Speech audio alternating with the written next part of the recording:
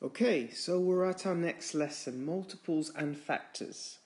Okay, so a multiple of a number is found when you multiply that number by a positive integer. Okay, the first multiple of any number, okay, is the number itself. Okay, so that number multiplied by 1. So let's say we're going to do multiples of 3, 3 times 1 is 3. Second multiple would be 3 times 2 is 6. 3 times 3 is 9, 3 times 4 is 12, and so on. Okay, so just to recap, we start off with 3 multiplied by 1, that's the first multiple, okay, times 2, 6 times 3, 9 times 4, 12, and so on. Okay, and you can do this for any number, and um, that will be its times table or it, um, its multiples. So, example, what are the first three multiples of 12? Okay, well, let's do the same thing. 12 times 1 is 12. 12 times 2 is 24. 12 times 3 is 36. Okay, so the same principle applies. Start with start off with 12 multiplied by 1. Uh, next is times 2. This is 24. 12 times 3 is 36. Right, how do we work out um, whether 300 is a multiple of 12? Okay, so um, in this particular example, what we first need to do is um, we need to divide 300 by 12. Okay, now if it goes exactly, or 12 goes exactly into 300 and there's no remainders, okay, that means that 300 is, in, is indeed a multiple of 12. Okay, so if you do this on your calculator, you should get 25. Therefore, the answer is yes. It is a multiple of 12. Right, what about this example? Find the lowest common multiple of 4 and 7. Okay, so we go back to our first rule of multiple, which is we start off with the first number. Okay, 4 times 1, 4 times 2, times 3, and so on. Okay, so I've just listed um, the multiples of 4 here. Okay, multiples of 7, we start off with 7 times 1, times 2, times 3, and so on. Okay, as the question is asking us for the lowest common multiple, we need to find uh, the number that is common to both lists of numbers here, and it's got to be the first one, so the lowest one. So in this case, it'd be 28. So the lowest common multiple of 4 and 7 is 28. Now, what are factors? Okay, factors are essentially any number, okay, that divides um, exactly into um, another number with no remainder. So, for example, factors of 12, okay, would be 1, 2, 3, 4, or 6, or 12 itself, okay? Because if you divide 12 by any of these numbers, okay, you would get no remainder. Okay, say for 25, factors of 25 are these three numbers here. Okay, you get no remainder if you divided 25 by any one of them, and 110, these are the factors of the number 110. So, if we were to find the highest common factor of 8 and 24, okay, we would have to list the factors, first of all, of 8 and 24. Okay, so 1, 2, 4, 8, and then 1 to 24, the factors of 24. And basically, we need to find which one is common to both, okay, and is the highest. Now, you will notice there's a 1 common to both, there's a 2 common to both, a 4 common to both, and then there's an 8 common to both. But as 8 is the highest, we say it's the highest common factor. Right, prime factors. Now, um, remember prime numbers are numbers, okay, that can be divided by itself and the number 1, okay? However, they can be useful to work out um, prime factors, okay? So, says write the following as the product of prime numbers. So, we're going to start off with 36. Now, in this example, okay, I'm going to use what we call the tree diagram method. Now, the tree diagram method, okay, is like this. So, first of all, I'm going to start with um, 36. So, I'm going to put a 36 there, okay.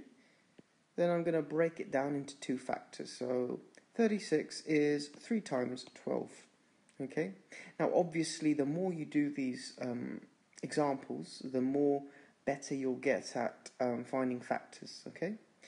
So I knew 36 was in the 12 times table, so I, um, I also knew it was 312, so that's why I broke it down like this. However, um, you know, it just comes with practice.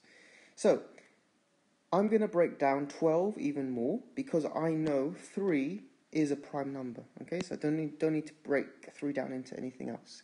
Well, what about 12? I know 12 um, is in the 4 times tables, and I know it's 3 times 4. 3 is a prime number as well. Let me break down 4 as well. So, well, 4, I can only think of it going into 2 times table, and 2 is also a prime number.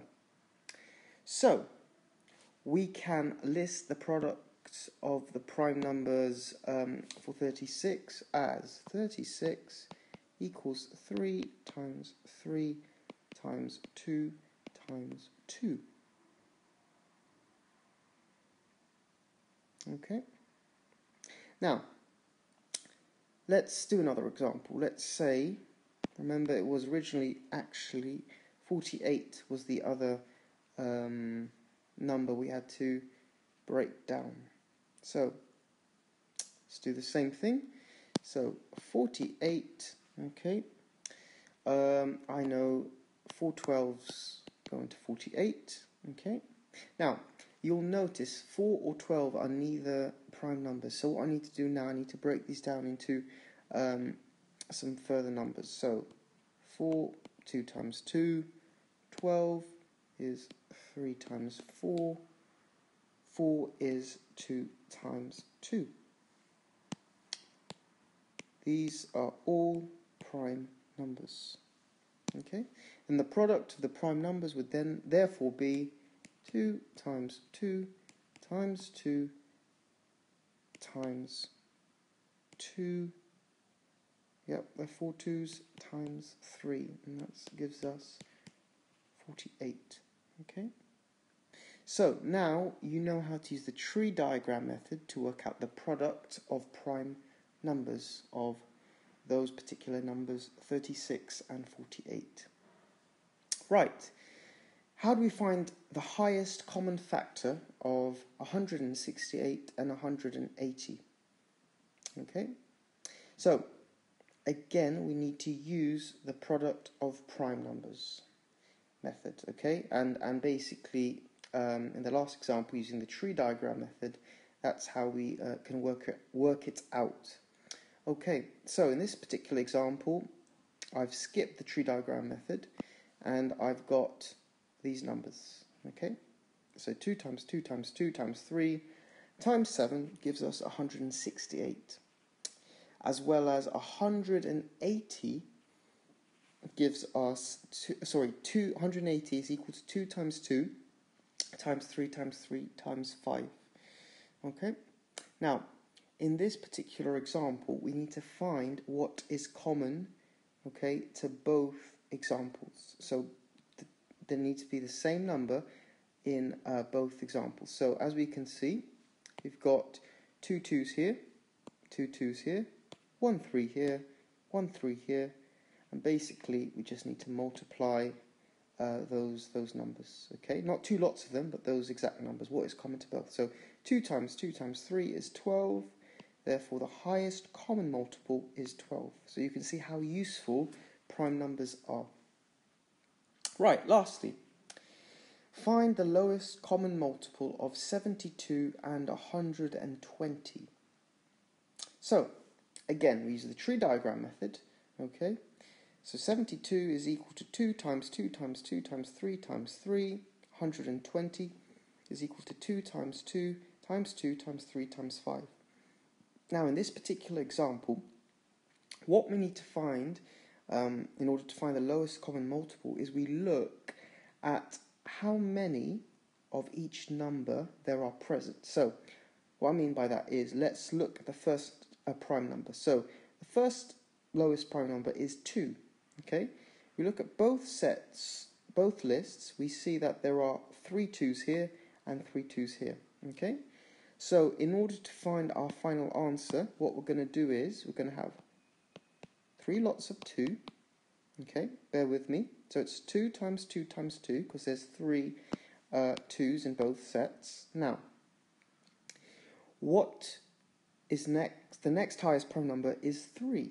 Now, there's only one 3 in this list here, and there's two 3's here. Now, the rule is you've got to multiply the prime number by the um, the largest, the most, uh, the largest amount it is in any of the lists. Okay, so in this particular case, it's listed twice, or we see it twice.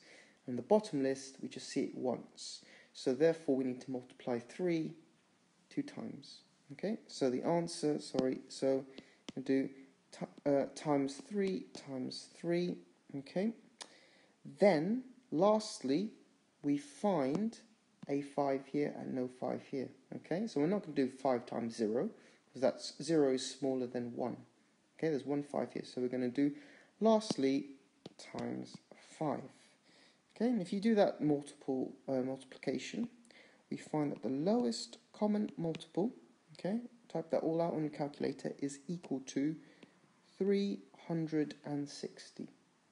Okay, so feel free to look through any of these examples again, uh, re rewind this video, um, and hopefully you have a better understanding of how to use prime numbers.